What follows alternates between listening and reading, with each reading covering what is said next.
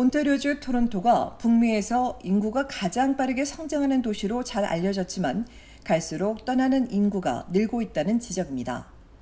토론토의 인구 유출이 계속되는 탈도시화가 빠르게 진행되고 있습니다. 연방 통계청에 따르면 2019년부터 2021년 사이 토론토에 정착한 사람보다 떠난 사람이 22만여 명 더 많았습니다. 비싼 임대료부터 식료품까지 토론토의 악명 높은 생활비가 주 요인입니다. 토론토에서 개인이 건강한 삶을 유지하려면 1년에 6만 2천여에서 8만 3천여 달러를 벌어야 하는데 대도시 정규직 최저임금은 2만 5,994달러에 불과해 허리띠를 졸라매야 하는 실정입니다. 또 정보 서비스 감소와 리더십에 대한 불만, 의료와 교육, 범죄에 대한 우려도 인구 유출의 또 다른 요인입니다. 더 저렴하고 더 넓은 집을 찾아가고 원격 근무 도입이나 구조 조정 등 코로나19 팬데믹도 대도시 이탈의 한 요인으로 작용했습니다. 덕분에 해밀턴과 벌링턴 등 토론토 외곽 도시로의 이주가 급증하면서 2020년과 2021년엔 토론토에서 역대 가장 많은 인구 손실이 있었습니다. 토론토를 떠난 이들의 대다수인 80%는 오샤워와 해밀턴, 런던 등 온준의 도시에 정착했고 나머지 20%는 엘버타주 등 타주로 떠났습니다. 이외에도 캐나다 남쪽 미국이나 본국으로 아예 돌아가는 사람들도 늘고 있습니다. 토론토의 유입 인구는 신규 이민자 덕분으로 메트로폴리탄 대학 연구에 따르면 2022년 7월 1일부터 2023년 7월 1일 사이 광역 토론토에 22만 2천여 명, 이 가운데 12만 6천여 명이 토론토에 정착했습니다. 이 밖에도 토론토 스타에 따르면 보통 연평균 2만여 명이 대도시를 떠났는데 2017년부터 급속히 가속화하더니 2021년엔 이보다 10배가 많은 20만 3천여 명이 국내 다른 지역으로 이주했습니다. 한편 토론토와 미시사가 브램튼의 임시 거주자가 특히 증가하는 것으로 나타났습니다.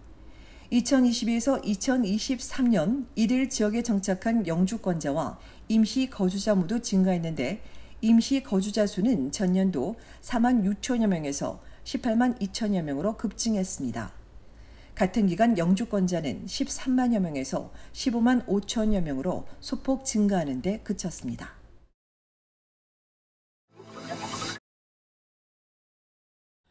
여름방학을 맞아 전국의 소아과 의사들이 학부모를 위한 조언들을 내놨습니다.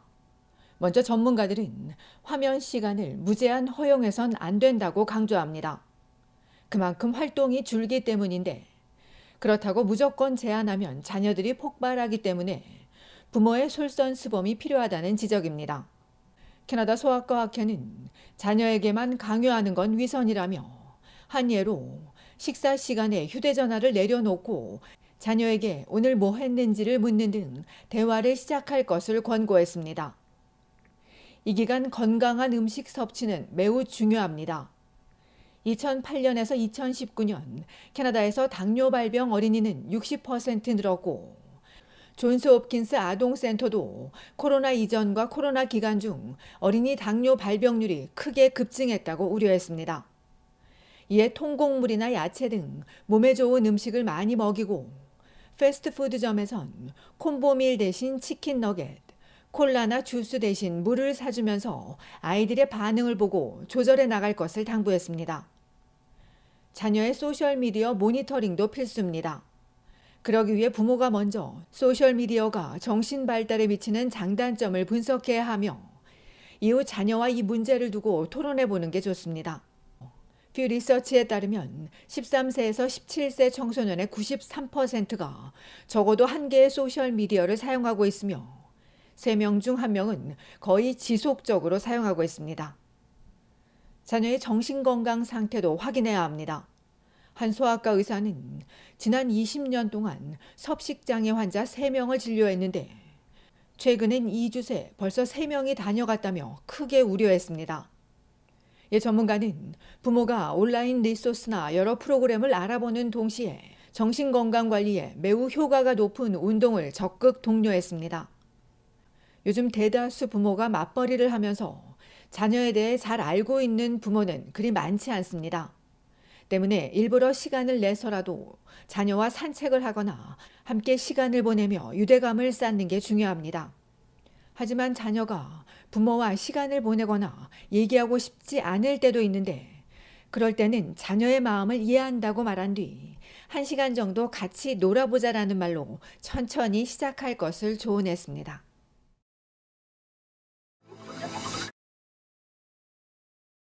브리티시 컬럼비아주 광역 밴쿠버 주택시장은 6월에도 찬바람이 불었습니다. 시장에 쌓이는 매물은 급증하는데 거래 건수는 2,418채에 그쳐 1년 전 동기간보다 20% 감소했습니다. 10년 평균에 비해서도 24% 저조한 수준입니다. 이 기간 시장에 나온 매물이 급증하면서 14,000여 채에 달해 지난해보다 42% 많았습니다. 이는 10년 평균치보다 많은 수준인 건 물론 2019년 봄 이후 역대 최대치입니다. 벤치마크 가격은 120만여 달러입니다. 재고축적으로 가격 상승 압력이 억제되면서 1년 전보다 0.5% 상승했지만 한 달 전보다는 0.4% 하락했습니다. 협회는 8년은 집주인은 급증하는 데 반해 구매 예정자는 여전히 주저하고 있다며 덕분에 구매자 선택폭은 더 넓어지고 조건도 균형이 잡혀가고 있다고 설명했습니다. 프레이저 밸리 부동산 시장도 비슷합니다. 6월에만 1,317채가 거래돼 한 달 전보다 13%, 1년 전보다 30% 감소했습니다. 벤치마크 가격은 단독주택 152만여 달러, 타운홈 85만여 달러, 아파트 55만여 달러입니다. 협회는 연방중앙은행의 기준금리 한 차례 인하가 시장에 미치는 영향은 아직 미미하다고 설명했습니다.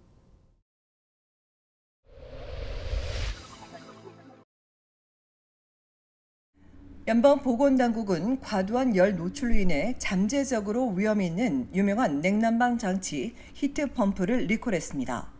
리콜 제품은 Amana와 Daikin 각각의 9개 모델과 Goodman 브랜드 4개 제품으로 2022년 5월부터 올 4월까지 전국에서 5,550여 대 판매됐습니다.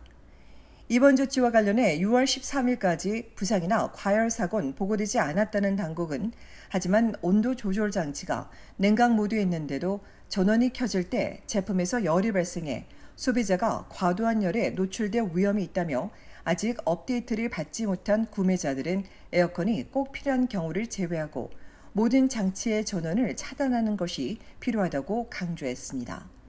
이 장치가 와이파이에 연결된 구매자는 Daikin Comfort Technology 제조사에 문의해 원격으로 소프트웨어를 업데이트하고 와이파이에 연결되지 않은 구매자는 아래 웹사이트에 등록해 지침을 받아야 합니다.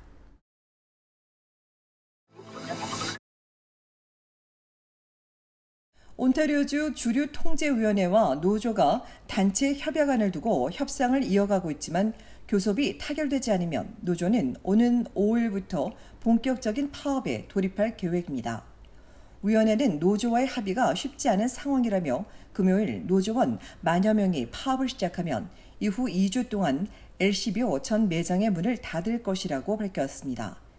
다만 파업 중이라도 온라인과 모바일 앱 서비스는 계속 운영하며 술집과 식당, 식료품점 등 도매 주문도 계속되고 제한적이지만 소수 매장은 영업이 가능할 것이라고 덧붙였습니다.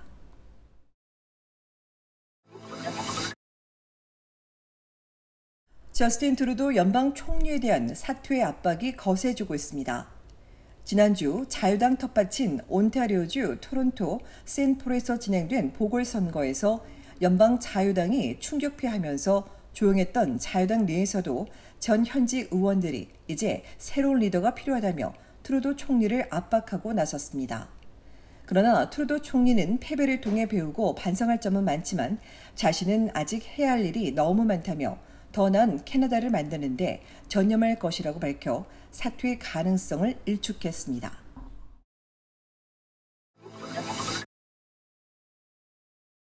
한국에서 주식 투자 명목으로 42억 원이 넘는 거액을 받아 챙긴 뒤 캐나다로 도피한 사기범이 9년여 만에 붙잡혔습니다. 무직인 A씨는 2013년 주식 투자로 큰 수익을 올려주겠다며 B씨에게 42억 원을 받아 챙긴 뒤 2015년 9월 캐나다로 도피했습니다. 이에 대검찰청은 이듬해 캐나다 국경관리청에 소재 파악을 요청한 뒤 가족의 출국 등 보강 수사를 통해 긴밀히 공조했으며 그 결과 지난 6월 7일 브리티시 콜롬비아주 밴쿠버 국제공항에서 A씨를 붙잡아 인계받았고 9년여 만에 사기 혐의로 구속 기소할 수 있었습니다. 한편 대검에 따르면 캐나다 관리청과의 공조를 통해 지난해와 올해 캐나다에서만 국외 도피 사범 3명을 검거해 송환했습니다.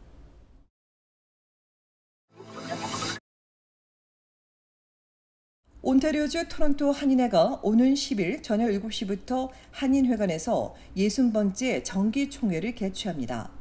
정기총회는 전 회의록 인준과 2023년 사업 및 결산 보고, 내 외부 감사 보고에 이어 2024년 사업 계획과 예산안 인준 순으로 진행되고 다음으로 신임 이사 소개와 기타 안건이 이어집니다. 한인회는 회원들의 참여로 이루어지는 이날 총회가 한인회를 위한 한 분 한 분의 소중한 의견을 수렴할 수 있는 좋은 기회가 될 것이라며 많은 분들이 참석해 발전적인 격려와 의견을 주길 바란다고 부탁했습니다.